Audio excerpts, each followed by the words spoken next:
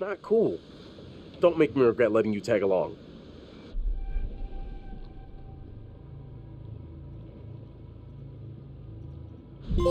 Uh, tag along? Seriously? I thought I was invited. Julia wanted you to come along. For real? Julia? Yeah, man.